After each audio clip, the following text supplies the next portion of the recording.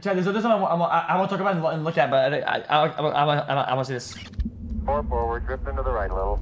30 seconds. Looks like uh, Neil is coming in five by there. 11, Mike, see you in the background. If you don't believe that humans ever landed on the moon, you'd probably think that on July 16, 1969, a select group of government officials, a crew of filmmakers sworn to secrecy, and a famed Hollywood director named Stanley Kubrick all gathered on a soundstage in a military base, deep in the Nevada desert, better known as Area 51. And here they pulled off the greatest hoax in history. You'd probably think that astronauts, or should I say actors, Buzz Aldrin, Neil Armstrong, and Michael Collins fled this rocket through a secret passageway just before it. Guys, I, I don't I don't actually think that guys guys guys guys guys. I'm a moon landing denier denier. So I'm two hmm. plies. I deny that there's denier. There's no. I don't even believe that there, that people deny the moon landing. I don't think they're real people. Yes, I don't think they're real people. I'm a denier's denier. No shot anybody believes that that that moon landing didn't happen. I, I don't I don't refuse to believe took it. off for space, totally empty. And you would have to believe that the estimated 400,000 people who were involved in this mission Are all were lying in together. on it, all promising to take this secret to their Three grave. ahead. You know, it was GF. I, I 22% think she of reformed. Americans either don't believe that we landed on the moon or harbor some doubt. To advance the 22%! technology of spaceflight, We looked at the tapes and the countless photos. We talked to astrophysicists, meteorologists, and NASA historians to better understand the moon landing conspiracy, how it started, what hoaxers use as their evidence, and what this belief teaches us about why some conspiracies are so enduring. Oh my god.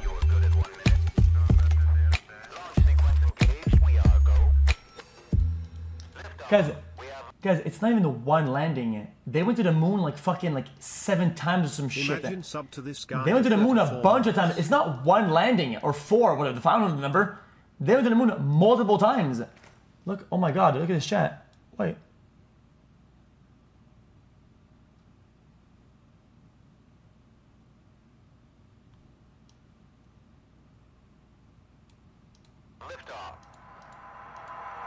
Okay, um, real quick. One of the big revolutions in science in recent decades How believe in it, many times plenty of reasons have we why they might want landed on the moon? it. Um, six. United States Apollo 11 was the first crew mission. There were six crewed U.S. landings between 1969 and 1972.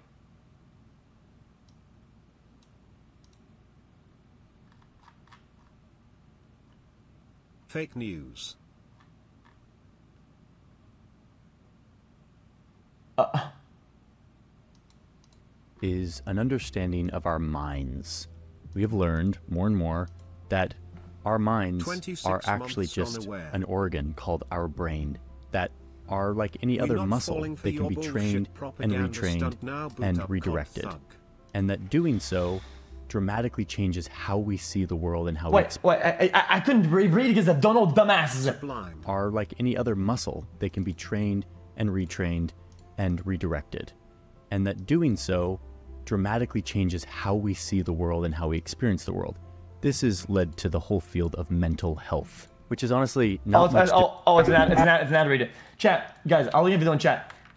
Guys, stop acting like you know better. I literally just proved you all wrong. The people that said question mark. We went to the moon a bunch of fucking times, dude. There's no, there's no point going back at one point. They, they did everything. They, they, they did everything to be done was done there, dude. You can still say question mark at.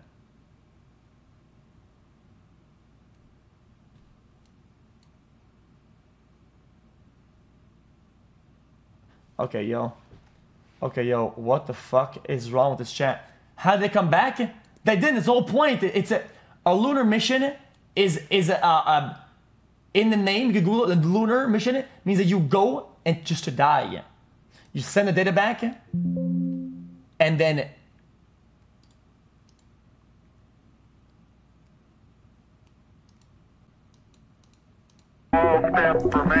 All right, so to give you some context on the moon landing, I need to briefly explain World War II and the Cold War, which is something I've kind of done a lot on this channel. So instead Oh. of me doing it again, we hired someone with an old timey, like radio transatlantic accent to do it instead. Buckle up for this one. In a world on the brink of destruction, the United States of America joined the Allied forces in the Second World War in 1941.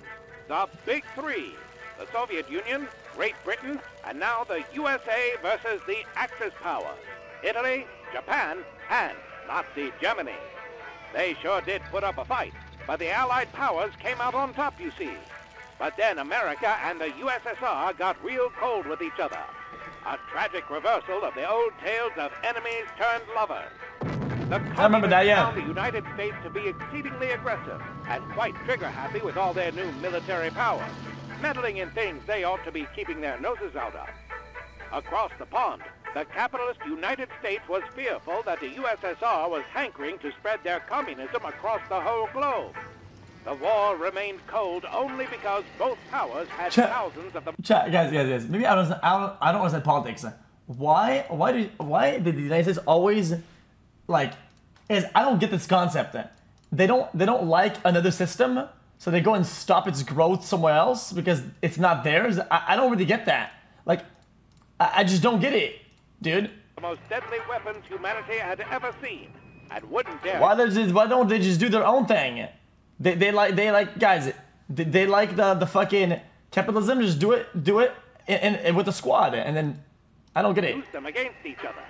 It was something of a horrifying stalemate. Am I missing? A, am I missing something? Soon, the empires turned to other feats of strength. Psychological warfare, spying, let me pause it, guys. Guys, if if communism, according to them, is, is the worst system and is bad, then why don't they let them do it and let them fail and let their country fail? That, that makes that makes them more powerful if they let people fail with their shit system. So why do they stop its growth if it's if it's dog shit? Then just get the free advantage, yo. proxy Oh, they didn't. Wars, and a race to advance their technologies. And to top it all, a race like no other. A race to space, space, space, space. This is a little bit uh, At poorly first, explained. It is very clear that the Soviets are winning the race. They're launching dogs and plants into space and bringing them back alive. They send up satellites that orbit the moon and take photos of the far side that no one had seen before. They even put a human up into space to orbit around. Last, last pause. Guys, guys, the reason why it's fully explained is they didn't explain why. What, what is the actual reason? Why spa- Why is there a race to space? Why? It's very important to understand why it's important to land on the fucking moon. Why is it so important? Around the entire Earth. The First space flight would be made by a Soviet man. The US needs to catch up, so President High ground. Eisenhower creates a brand new government High agency ground. dedicated entirely to space. It's called high ground. It's a display. Yeah, you're right. It's a display. This is a display of power, not only ego. It, sh- it shows you have high ground. You, you, if you if you can if you can do that, you have superiority. You can control space. You, you, you're you're better. Boom. It means that you have you would literally have high ground. And yes, ICBM potential, because in order to launch an intercontinental ballistic missile or whatnot, you have to go to space. Yes, you have to go to space. The rocket has to go into the into space. And they eventually That's start right. to send up satellites and even That's right. people, but they don't get someone to orbit the entire Earth like the Russians did. Womp womp, the US is losing the space race. And this is where JFK gets up in front of the nation and declares that the US is setting a goal. In this decade, we shall make up and move ahead. He's declaring what would surely be the ultimate finish line in this global race for power. We choose to go to the moon in this decade, An American astronaut eventually orbits the Earth. Not because they are easy, Russia then puts the first woman in space while also getting the first person to walk in space. but because they are hard. The NASA teams are pulling all nighters year after year, trying to figure out how they're going to make good on JFK's big promise to somehow get a man on the moon by the end of the decade. Things are heating up. Time is running out. What a speech, though. And then, Launch sequence engaged. We are go. Boom!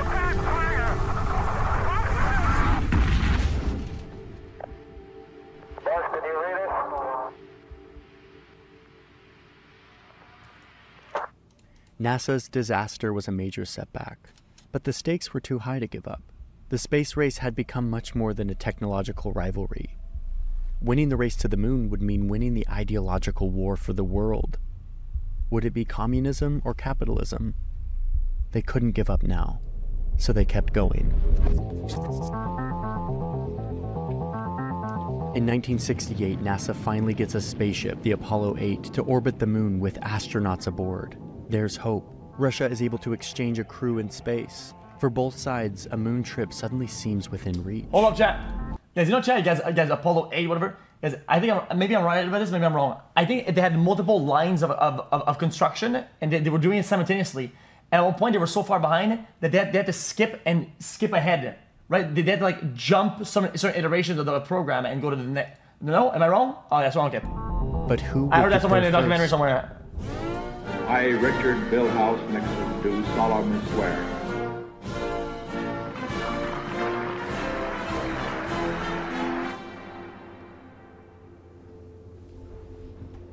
And then, after My eyes hundreds of millions of dollars and countless focused hours by the country's brightest minds, comes a morning on a summer day in Houston, Texas in 1969.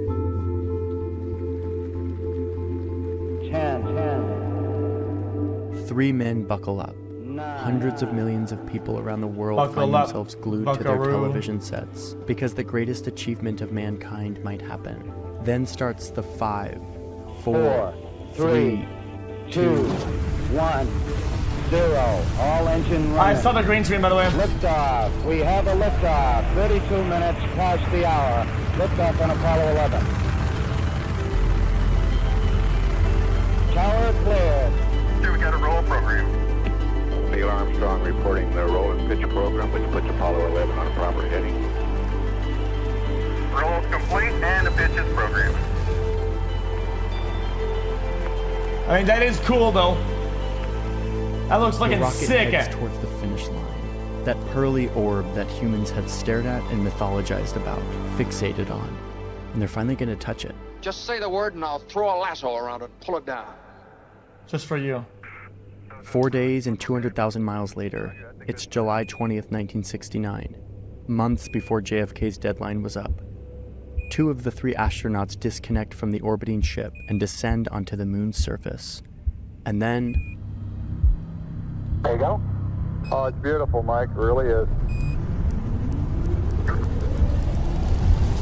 oof, these fumes. The race had clearly been won. A line had been crossed, not just for the global superpower who did this, but for That's crazy, all though. humans who had just taken their obsession for exploration to new heights. But right away, after this event, even though it was broadcast on live television for the whole world to see, there were rumblings of doubt. About a year after the landing, you start to see newspaper articles casting doubt that any of this actually happened. Two years after the landing, we see James Bond running away from a bunch of security guards through the Nevada desert when he somehow stumbles upon a secret moon landing film set, resulting in this moon buggy car chase thing through the desert. Okay, dude. It was all a tongue in cheek reference to this budding conspiracy that the whole thing was faked. A few years later, a former US Navy officer and Apollo rocket technical writer comes out with this book. I think it was an intuitive feeling that what was being shown was not real. The book is a long evaluation of evidence that claims that we never actually went to the moon.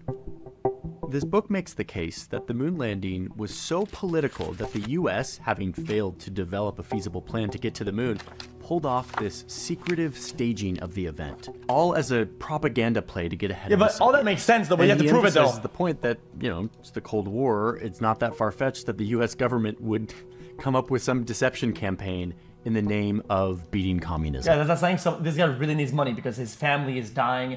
He's getting foreclosed. Guys, this guy really, really, really needs money. Therefore, if he got money, he robbed the bank. Now he did though. He did it because he really needed it though. He really, really, really needed it, and that's how he got there, dude. And, that, and fuck it. I mean, dude. Which is like- j- just a display of need doesn't mean that that that it proves the fucking pathway there, dude. What the fuck?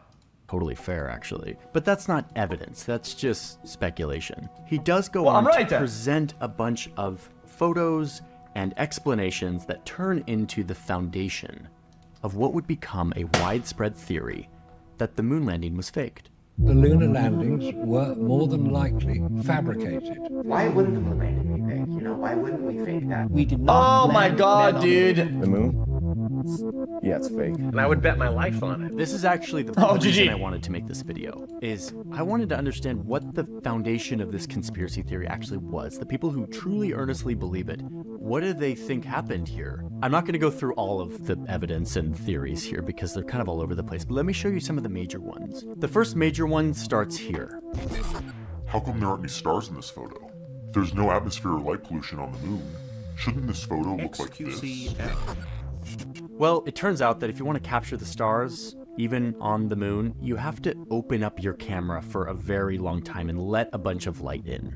Trust me, I know this because I spent months of my life trying to photograph a galaxy and I learned a lot about how not to photograph stars. And let me just tell you, it's it's a lot harder than it looks. When I was doing that, I was opening up my shutter for 30 seconds and I took hundreds of images just to get this one shot. So when you're on the bright moon and you're trying to photograph a bunch of guys in bright white reflective suits, you're not opening up your shutter for a very long time. You're not letting in a bunch of light. There's basically no chance of getting a decent shot of the stars in this environment. But you get something. I mean, if you take the photo and blast up the brightness, you can kind of see some traces of the stars if you really need to do that. Okay, but what about these shadows? some of these true. shadows go this way, and some go this way. Shouldn't the That makes sense, yeah. parallel if they're all coming from one source? Guys, I just thought if the moon is bright, isn't the brightness of the moon reflecting back into the shutter, and then you're, then you're getting light? I don't get it. If you're the fucking yo, you're saying, oh, dude, dude, uh, I'm not getting any light because we're far because of the sun. Well, if you're on the sun, you're gonna get light because you're on it, motherfucker. What the fuck? The fuck? If you're on it, you're gonna have light, right? I mean, you're probably gonna, right? It's The sun. Yes, the only light source in this photo is the sun. But you have to remember that light bounces off things, especially white things. So you have light bouncing off of lots of different surfaces, which is one reason the shadows look a little weird. Oh, and remember that you're looking at light that was filtered through a lens. A camera lens distorts the direction of things depending on how wide or tight it is. Okay, but what about this flag? This flag is waving, but there's no wind on the moon. Yes, the flag is kind That's of waving. that's because of the material remember and this shit, isn't a normal flag. NASA had to make a custom Yeah. flag for the Apollo missions that had a horizontal rod right up here so that the flag wouldn't look like this. It had to look nice and American and patriotic. You had to be able to see it. So, when the astronauts were sticking the flag in the lunar gonna soil, wobble. the motion of that movement caused the material to move, and it kind of looks like it's wavy. Okay, but look how they're moving. This is so unnatural. It's almost like they're being pulled up by a wire. Oh, and look, did you catch that? That looks like a wire. Okay, wait. Just confession here. I was watching all of these conspiracy documentaries like while we are doing this story, and they're like incredibly tantalizing. This is the one that actually kind of got me. I was like, wait a minute, they are moving really weird. The motion is so off kilter. It looks like they're being like dragged by a wire. So to figure this out, we actually talked to a physicist and a meteorologist who helpfully explained just how different life in one-sixth Earth's gravity is. I mean, think about it. Our intuition for everything we know is calibrated to Earth's gravity. It's everything we've ever known. It's how our brains interpret the world, it's how our muscles calibrate to the world. So when you're watching these videos of these astronauts in suits that weigh 180 pounds, clunking around with their Earth gravity trained muscles on the moon, True. you see some really weird movements. But I mean, who knows? Maybe the two scientists we talked to are actually in on it. Maybe they're some of the long. half million Americans who are paid by the government Guys, to I- keep guys- the hoax alive. guys, I hate to ask- All so that we could feel like America is better than. Guys, what about the balls? What do the balls do? Think about it then. There's no gravity and shit like that. Like, they just float? in the Soviet Union in 1969. Maybe. Could be. Okay, listen, I'm not going to go through every single one of these theories. There's a lot of evidence out there. Like, why isn't there exhaust on this flame? Or why did the Eagle Lander not leave a crater? What about the radiation exposure that these astronauts would have gotten? What about Neil Armstrong's boot print? Or the lost tapes? Don't get me started on lost tapes. We actually had a whole section in the script about the lost tapes, and ultimately, it didn't make the cut. Now listen, I want it to be clear that you should not be ashamed if you actually want answers to these questions, especially in a time where all of us are kind of renegotiating our relationship with trust in governmental institutions. But I will tell you that after earnestly looking into this stuff, none of the presented evidence comes anywhere close to the burden of proof and evidence I would need to see to believe that the moon landing was a hoax. I will put resources in our source doc of the many instances of astrophysicists and scientists Wait. walking you through all this stuff. Chad, you would only need one thing. The burden of proof would be one singular discrepancy. One. I think it's useful to look at. Before we move on with our story of the conspiracy theory, let me use this moment to say a word about human neurology and visual information, something I think about a lot. For me, when I sit through the evidence based debunk on these theories, which is something we did for this story, it helps me understand the limits of human senses. Our eyes and ears and logical thinking brains This is another ad? were optimized for very different problems Let's than not. evaluating the physics of our fellow Homo sapiens jumping around on a baby planet 200,000 miles away. Like, we're not set up for this stuff. Going through the conspiracy theory and then going through the debunks reminds me why we as a species developed other ways of sensing, other ways of measuring and knowing things about the world, other tools that aren't as intuitive to us, but that extend our power to know things that are real, that are true. If you don't lean on these tools, uh, in other words, if you don't look to science in your evaluation and instead rely on your optic nerve feeding grainy pixels into your great ape brain, I think we can all agree that you'll take for truth things that are not true. Okay, neurology section is over. Let's get back to it. If you're going to go down this rabbit hole and indulge your conspiracy mind like I did for this story, let's talk about what people think actually happened here. months. I mean, dude, Like, all of this dude, dude, dude, dude. Don't people trust like medicine and stuff like that at the very small molecular level and like and like vaccines and shots or syringes and a bunch of things that are very small. A bunch, a, a million things that are small. Everybody trusts that, but they won't trust the other thing. I don't get it. Isn't that the same sort of type of a, a barrier to visual th- like that? This footage and all of these photos, what do the yo. think we're Like the the the um. One of the most common explanations is that the US, afraid that they would be embarrassed in front of the global stage because they would fail on JFK's big promise, hired a famed Hollywood director, Stanley Kubrick, who had just released a groundbreaking space movie, and they used his visual skills to deceive the world, filming the moon landing on a soundstage in the middle of the desert. I mean, look, this rock has a perfect C on it. Is that a prop? These misaligned shadows, they explain as studio lights. The flag was waving because there was air conditioning in the studio, and these photos were actually taken by Stanley Kubrick. So these guys are saying that there's mastermind, insane, crazy hired specialist experts to make all these sets happen, and they would forget the AC on the set. Oh, please, man. taken Come on, man. Stanley Kubrick. Come on, come on, bro. All of these movements, they say, were done with wires and slow motion. And that black starless sky is just a black cloth backdrop. That's one small step for man, one giant leap for mankind. In 1977, the conspiracy Lag. theory had spread enough that NASA had to come out and issue a fact sheet responding to the claims. The first sentence of which is just yes, astronauts did land on the moon. But then a movie comes out in 1977 about the government faking a space mission, this time to Mars, to save face to the American people. But the space race was over. It wasn't the focus anymore. And Yeah, no eventually, so was the Cold War. This moon landing theory became more and more fringe. But inevitably, like any other good, tantalizing conspiracy theory, it was eventually repackaged and put into one of these really spooky, cheesy cable news documentaries. In 2001, Fox News aired this documentary. On conspiracy theory, Ah. did we land on the moon? It was basically just a repackaging of all the old theories, but for a new audience. But now it was the dawn of the internet age, and NASA had to respond to this Fucking Fox News Fox doc News, by bruh. reissuing the fact sheet that they issued in 1977, but this time on a website. An innocent foreshadow to combating information on the internet. They had no idea what was coming. The doc gave the conspiracy new energy, new followers, and soon a conspiracy theorist was following Buzz Aldrin around a hotel, pestering him and demanding him to swear on the Bible that he landed on the moon.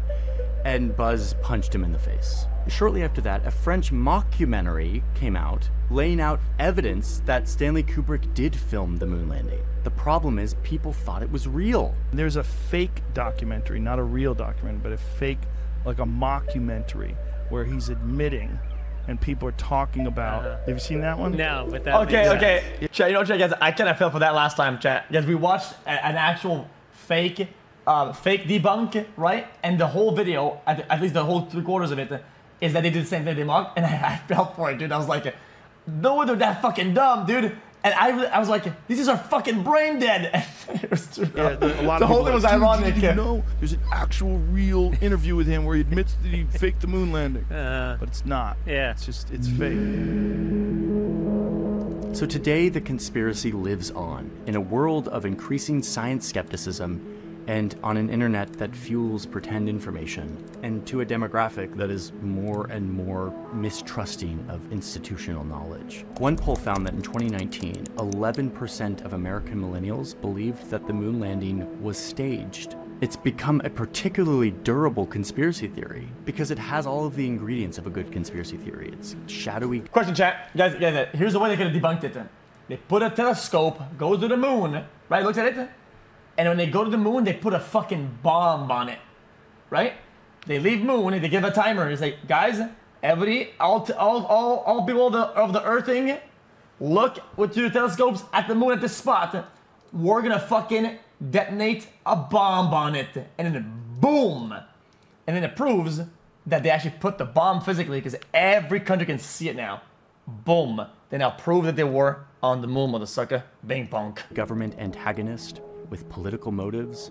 It leans on the human eye and brain as the primary measuring tool for the evidence. And when you believe in stuff like this, it feels good, like you're in on a secret. So let me just end this video by telling you why I know we landed on the moon. Yeah, how do you know that? Did he go there? Was he there? Was he with them?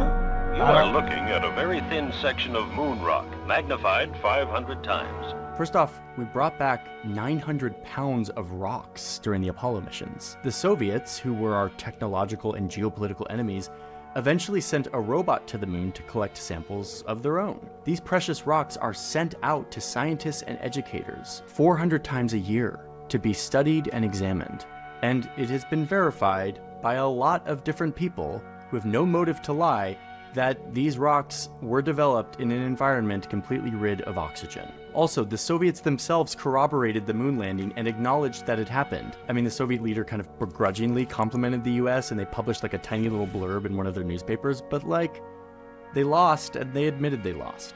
Also, if I'm gonna rely Chat. on just my human brain logic for a second, Yeah, chat, chat. The people who really want to win, right? Of course, had all the all the things to fake it. But the people who lost, why would they give them the win at that point if their whole point is to win themselves, right? I think I think that's that's proof itself, right? Kind of. Think about it. There were hundreds of thousands of people who were involved in the Apollo missions. Scientists, engineers, physicists, policymakers, mathematicians. All working day and night towards this goal, obsessing over every detail and then monitoring every step of the way. From Houston, Texas to the surface of the moon and back, communicating with the astronauts the whole time. So imagine two Texas Motor Speedway stadiums full of the brightest minds in the country, all in on the Left biggest turn. deception Left turn. time Left turn. without a single leak. And finally, if you insist on using your eyeballs as your only sensors that you will accept as proof, just look at this. This photo was taken by a telescope orbiting the moon. These are astronaut and buggy tracks here on the surface of the moon. You can even see the buggy's parking spot right here. Or, or, or, since you're zooming in with a telescope, these are literally microfibers on the telescope's lenses, creating an overlay over the picture you're And looking if you them. think that this photo, that yes, was originally taken by NASA, but many other photos have come out by other space stations that show physical evidence of humans on the moon, if you think that this is still the government, like 40 years later, the kids and grandkids of the Apollo people still photoshopping pictures to keep up this elaborate ruse, I don't know what would convince you.